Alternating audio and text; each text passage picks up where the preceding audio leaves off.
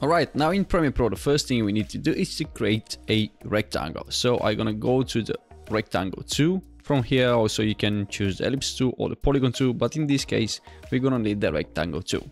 Then the next thing I would do is go to the program monitor and draw a rectangle, something like that. But as you know, most of the subscribe buttons has a rounded corners. So to achieve that, I will go to the Essential Graphics panel and from there I'm gonna go down to Align and Transform. We've got the little rounded corner icon. So from here, if I increase the volume, you can see that now the corners have changed and now they're rounded.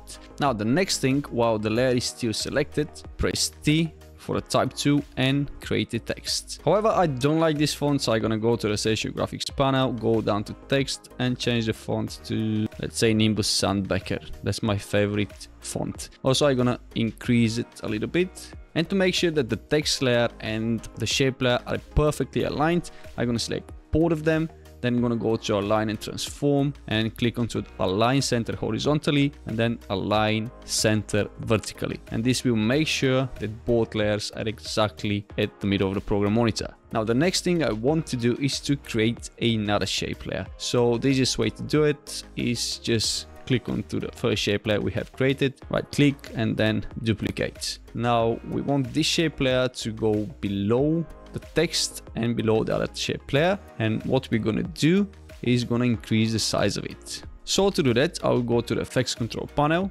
open the second shape's properties. And to make it easy to remember that, I'm just gonna rename it by clicking twice on the name to shape number two.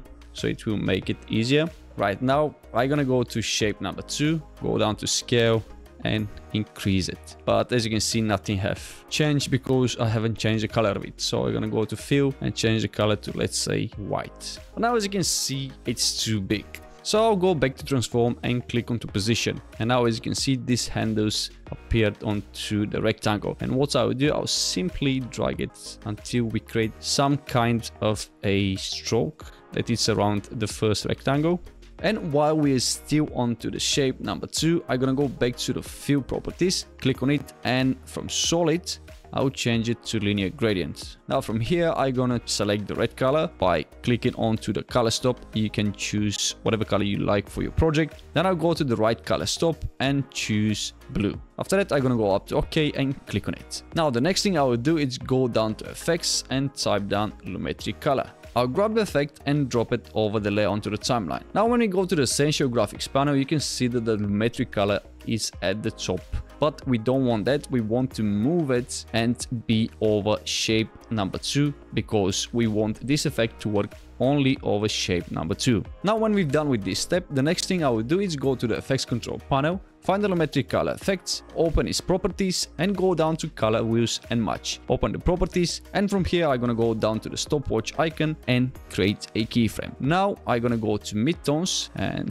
drag this all the way to the left corner somewhere between the yellow and orange range color. Then I'm gonna go to shadows, drag it again at the same direction and then the same thing with highlights. So now the next thing I will do is move 20 frames forward by holding shift and hitting the right arrow of the keyboard. 5, 10, 15, 20. Then I will create a second keyframe by dragging the midtones all the way down to the blue and I'll do the same with the highlights and the same with the shadows. And what we're going to do now here is go forward another 20 frames, select the first keyframe, Ctrl and C to copy it, then Ctrl and V to paste it. Then I'm going to select the second keyframe, Ctrl and C to copy it, then move another 20 frames forward, paste it. Then I'm going to select the first keyframe, copy it, 5, 10, 15, 20. You get it. And now when I play it, we've got this cool effect. But to be honest, I don't really like the gray color onto the first shape layer. So I'm gonna go back to the first shape layer, go down to fill,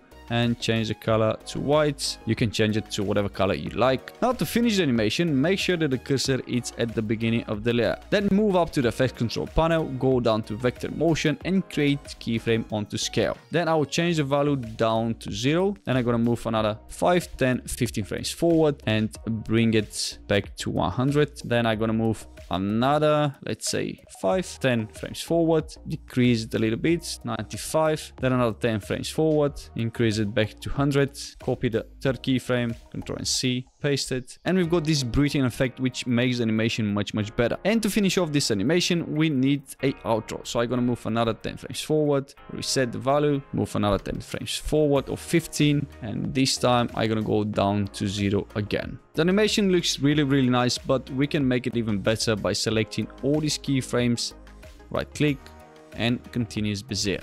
And now let's see the final result.